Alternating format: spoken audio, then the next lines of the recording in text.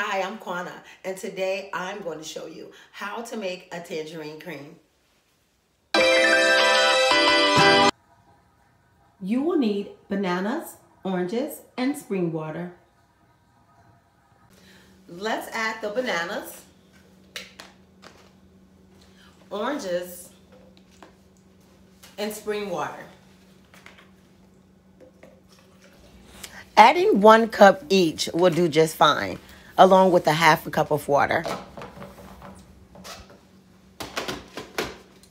Let's blend or crush for a few seconds. And there you have it, tangerine cream. You can add ice before, after, or not at all.